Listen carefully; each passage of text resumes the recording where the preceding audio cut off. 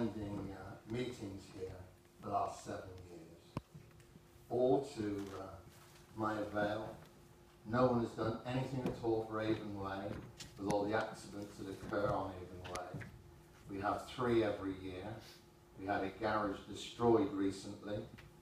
We have, we've had in the past children knocked down, adults knocked down, people cut from their cars. Yet I came along here three years ago.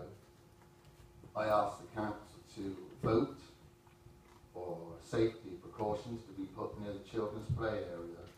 Absolutely nothing is being done. They actually refuse to vote.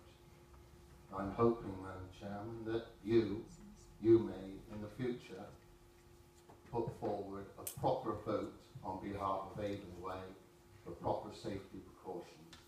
A crossing, speed tables, rumble strips. Too many accidents, too many mm-hmm. children involved, especially near play areas in school. I know a few years ago we lost a little girl down at Locking simply because no one had done anything about road safety near schools and play areas. I do not want that on Eaton Way. I've asked in the past, the council have done absolutely nothing. I was hoping Mr Terry, who lives near that park, would have done something, but he, he didn't even vote when I asked him to. The same from any other councillors on that day. So I'm still waiting for something to be done on behalf of Avon Way. It's gone on far too long. We've been left in the dark. We've had 1,300 speeding offences every day recorded by the police in the past. We've had police on the road, detective vans, and all they do is collect money, and all they are are short-term uh, methods. There is no long-term method. We don't want any children knocked down on that road. I've seen too much in the past in my job. It's just not good enough.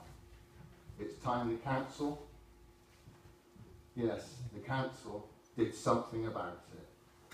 And I, tonight, I've come along here just to say to you, Madam Chairman, that enough is enough for Avon Way.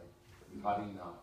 And also, we had a meeting here in Portishead with um, Sue Mountstevens, and she's very interested in any precautions to be undertook around schools and play areas in North Somerset.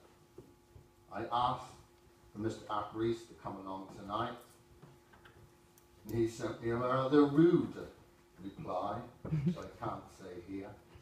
I'm very disappointed in that.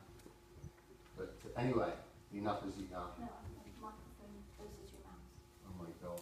Okay, thank you anyway, Chairman. Thank That's you. enough from me. Well said, Mr Holman.